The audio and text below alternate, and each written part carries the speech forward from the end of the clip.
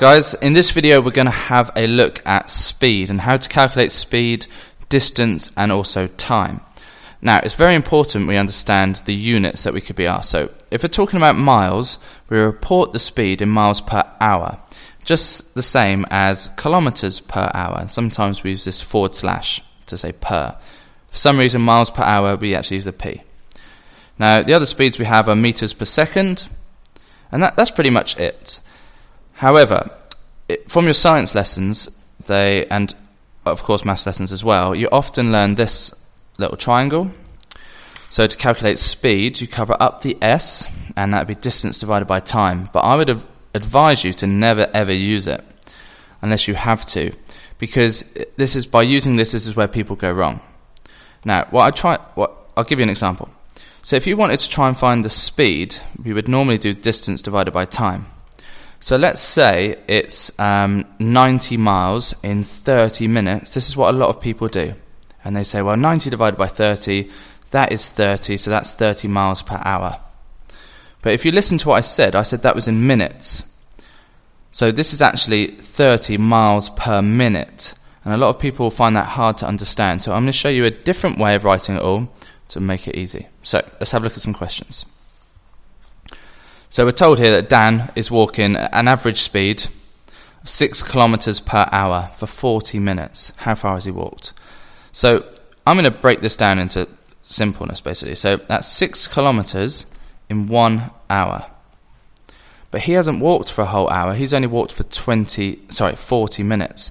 So what I'm going to put here is I'm going to say well that's also 60 minutes. I know that. So what I'd encourage you to do is now mess around with these numbers until you can turn this into this. So, for example, I can see that I can divide both of these by 3. So if I divide this by 3, I get 2 kilometers. And if I divide that one by 3, I get 20 minutes. So 6 kilometers in 60 minutes is also the same as 2 kilometers in 20 minutes. You can also see this times 10 as that, that times 10 as that. So from here, if I double this one, well, double this one rather, that's 40 minutes. So if I've doubled this one, I have to double this. So I can tell you straight away that it's 4 kilometers in 40 minutes. Now, doing it this way, you're not going to fall into this trap because 40 minutes is quite hard to write as an well, it's not hard, but if people find it quite difficult to write that in hours. So this is my advice every time. Let's look at number two. So this time a car is travelling an average speed, I haven't written average speed, but it is, of 90 kilometres in one hour. So I'm going to put 60 minutes straight away. And 20 minutes. So think, how can I turn this into 20? Well, I could start by halving these, but that gets 30 and that makes it quite difficult. So I'm going to, again, divide by 3 and I'll get there straight away.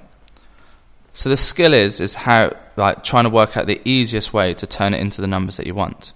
So this divided by 3 is 30 kilometers. So how far in 20 minutes? 30 kilometers. So it's dead easy this way.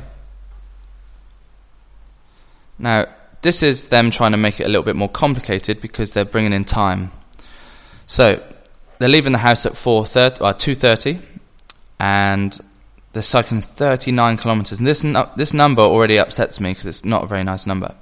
And it's 18 kilometers in one hour. And we've got to try and turn this into 39. So it's horrible, but just start looking at these two numbers and start messing around. So I can see that they're both in the 6 times table. So if I divide this by 6, Okay, I know I've got the answer now. I get to 3 kilometers, divide this by 6, I get 10 minutes. So at this point, you might be able to know what you times this by to get here, but if you don't, don't worry. Just get as close to you as you can. Times 10 for 30, so that times 10 will be 100 minutes. We need 9 more kilometers. You should be able to turn that into 9 by times in by 3. So if we times that by 3, we get 30. So if we add these together, we get 39 kilometers. That would take us 130 minutes. Now, 130 minutes is obviously over an hour because an hour is 60. Two hours being 120, So 130 is 2 hours and 10 minutes. So if we're starting there, what times they arrive? So let's add on the 2 hours, that's going to be 1600 hours. And let's add on the 10 minutes, that's going to be 40. So they arrive at 1640. So sometimes the numbers are a bit more difficult, but if they're too tough, they'll have a calculator question. And th- even these numbers could appear on a calculator paper, but you do not need them. All right, good luck with the speed.